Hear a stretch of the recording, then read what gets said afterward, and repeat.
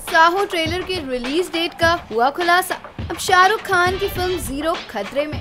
प्रभास की फ़िल्म साहो इन दिनों खूब सुर्खियों में है। बता दें, ये फ़िल्म इसी साल रिलीज़ होने वाली थी, लेकिन अब ये फ़िल्म पोस्टपोन होकर अगले साल फरवरी के महीने में रिलीज़ की जाने वाली है। इस फ़िल्म में प्रभास के ऑपोजिट श्रद्धा कपूर नज़र आने वाली है। प्रभास फ़िल्म बाहुबली के बाद से ही फ़िल्म इंडस्ट्री के सुपरस्टार बन चुके हैं। और अब बस ऐसा ही हो गया है कि उनके हाथ जो भी फ़िल्म लगेगी वो फ़िल्म 500 करोड़ तो पार कर ही जाएगी। वहीं आपको बता दूँ फ़िल्म साहो का बेसब्री से इंतज़ार किया जा रहा था, लेकिन अब फैंस को करना होगा थोड़ा और इंतज़ार। वहीं अब फ़िल्म साहो के ट्रेलर के रिलीज़ डेट का खुलासा हो चुका है। आपको बता दूँ, ये फ़िल्म का ट्रेलर इसी साल दिसंबर के महीने में क्रिसमस के मौके पर रिलीज़ किया जा सकता है। वहीं क्रिसमस के मौके पर शाहरुख खान की फ़िल्म ज़ीरो भी रिलीज़ हो रही है।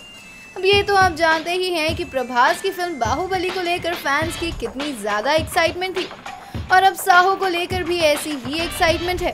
आपको बता दूँ, दोनों ही काफ़ी बड़ी बजट की फ़िल्में हैं। जहाँ प्रभास की फ़िल्म साहो साढ़े तीन सौ करोड़ के बजट में बनी फ़िल्म है तो वहीं फ़िल्म ज़ीरो का बजट भी लगभग तीन सौ करोड़ ही है। अब देखना ये होगा कि फ़िल्म साहो के ट्रेलर के बाद क्या फ़िल्म ज़ीरो बॉक्स ऑफ़िस पर टिक पाती है या फिर फ़िल्म साहो की हो जाती है ज़्यादा डिमांड तो दोस्तों, आपको क्या लगता है कि इस बार दिसंबर पर कौन छाया रहेगा? शाहरुख खान की फ़िल्म ज़ीरो या फिर साहो का ट्रेलर इस बारे में हमें ज़रूर कमेंट करके बताएँ अपनी राय और बॉलीवुड की हर छोटी बड़ी अपडेट्स के लिए जुड़े रहें बॉलीवुड फ़ैशन के साथ। What do you think about this video please comment like and share for latest Bollywood update don't forget to subscribe Sanskriti Bollywood fashion Hit the bell icon and never miss any filmy Bollywood update.